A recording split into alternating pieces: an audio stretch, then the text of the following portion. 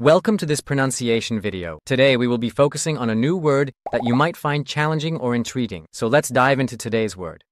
Придет, which means will come in Russian. let's say it all together. Придет.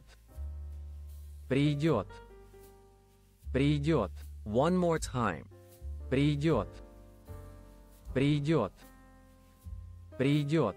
Thank you for joining us on this adventure in pronunciation. Remember, language is a journey, not a destination. Keep exploring, experimenting, and expanding your linguistic horizons. We'll see you next time.